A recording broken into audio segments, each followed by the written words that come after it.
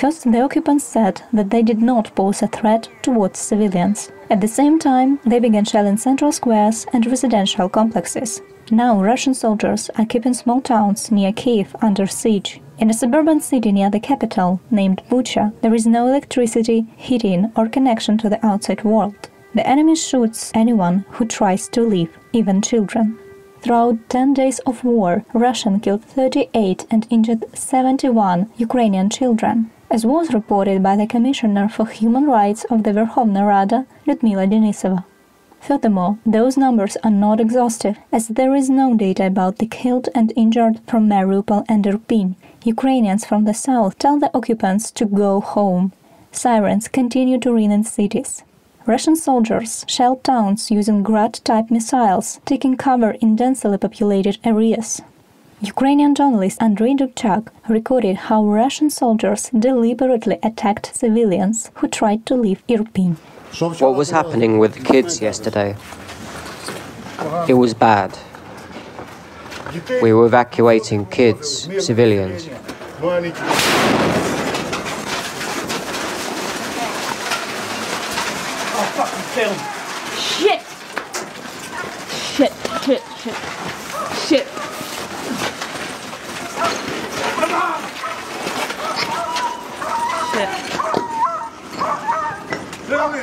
you want. All right. Stay there. All right. Do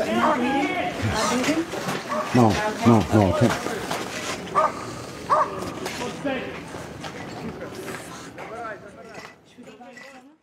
This is a fact, a documented fact. They see everything from the house's in being, a woman, a boy, a teen girl died in front of my eyes. A man was heavily injured. They must have been a family, wrote Andrei on his webpage.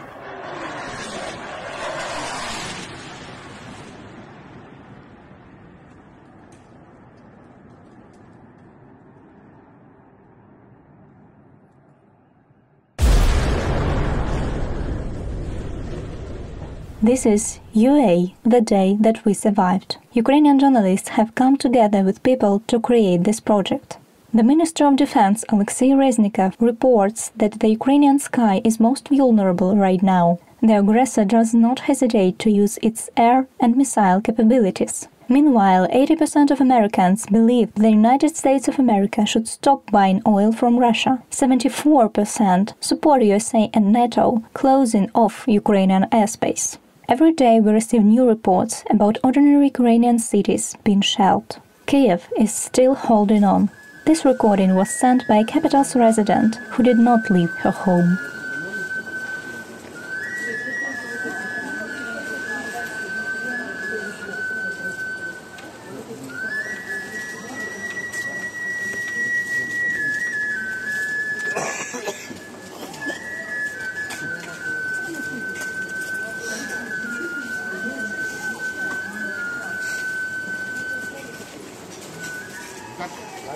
Я узнал, кто выносил мусор. А дочка вот этого, что, как это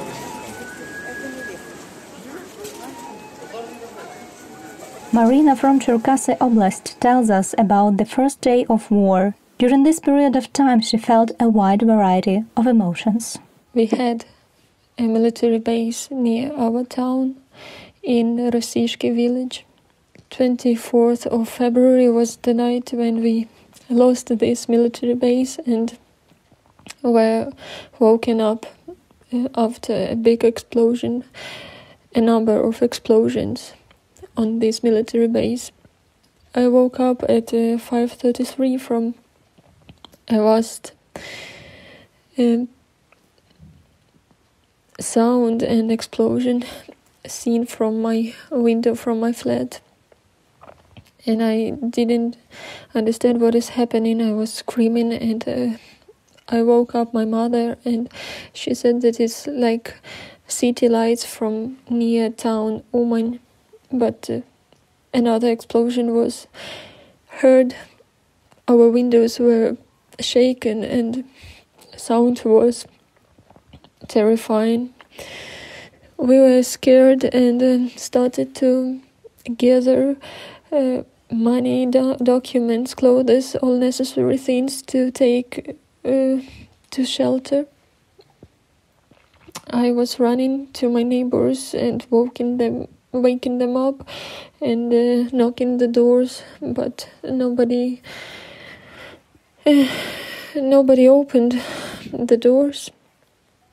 And our shelter down, um, the flat was closed, so I came back to my flat and we switched our TV to see what news was translated on TV, was broadcasted on TV, and uh, our journalists uh, said that it was like uh, training from our soldiers. But few moments later, it was said that Russia invaded invaded in Ukraine and started a, a war against our people and our cities and our country.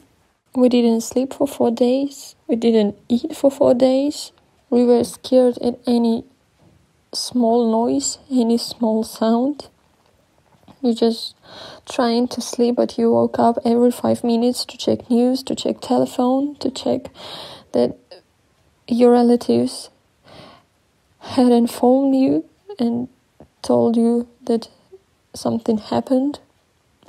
You check news to find something good to to calm you down. You are just in the news flow every every single minute and today is the ninth day of this war and after all possible feelings i'm empty inside.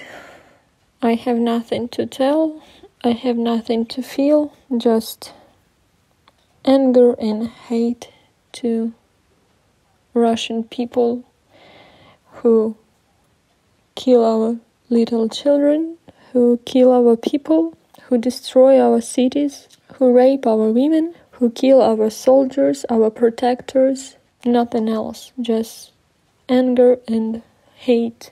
And I'm lost in all this situation. I don't know what to do, where to run, whom to help first, just hoping to survive one another night, to survive another day, and to pray that another air raid is just false air raid without bombing. People are protesting in occupied cities. On the 6th of March, people joined their rallies with Ukrainian flags in their hands against Russians in Nova Kakhovka.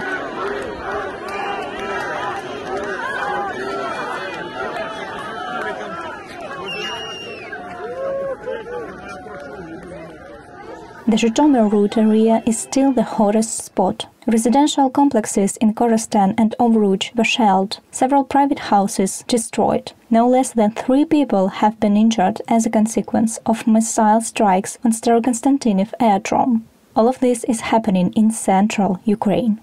Shelling continue in the east of Ukraine as well. Because of skirmishes in Luhansk, a couple of pumping stations were cut off from the power supply. Evelina from Lysychansk tells us about the morning of the 5th of March in her hometown.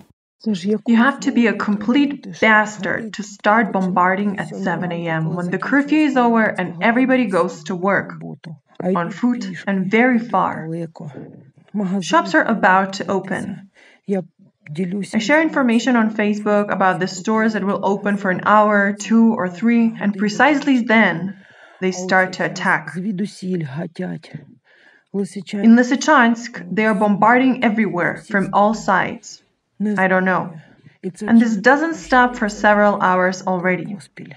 We're still sitting in the basement. Today, I didn't even manage to get bread. That's my situation. Well, we keep holding on. Glory to Ukraine. On the 6th of March in Vinnytsia, central Ukraine, a local airport was hit by a missile strike. A military unit was also shelled. The president of Ukraine, Volodymyr Zelensky, is once again asking the West to close off Ukrainian airspace.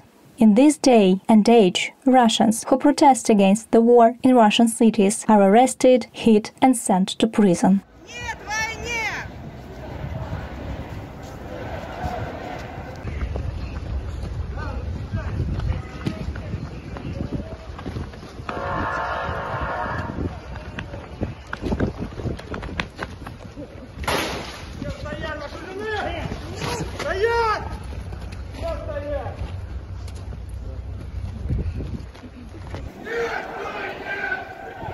Hundreds of thousands of people in occupied cities have no means of communication. A second attempt at establishing a green corridor for civilians resulted in another shelling by Russian soldiers. In Mariupol, evacuation was disrupted by occupants. The locals did not manage to leave the city. It is extremely dangerous to evacuate citizens in current circumstances. The occupants continue to destroy our infrastructure. They use artillery, multiple rocket launcher systems, and ballistic rockets. We continuously receive terrifying news. It is difficult to find anything positive in the current situation, but life itself cannot be stopped. Some of our friends announced their pregnancy. The troops of territorial defense, Lesa and Valery, have married. Пане командир, будь ласка, візьміть. Так, вручайте.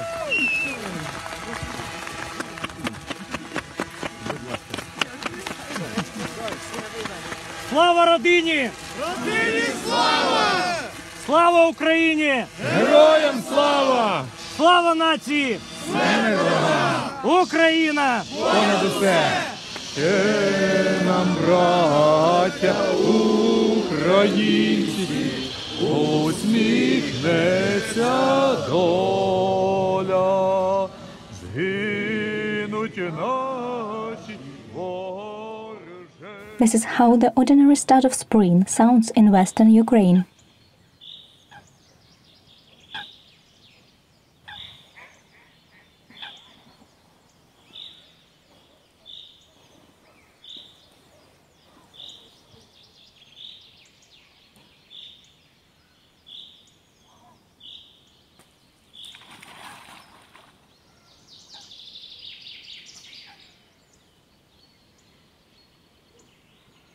We wait when silence and peace will commence throughout all of Ukraine.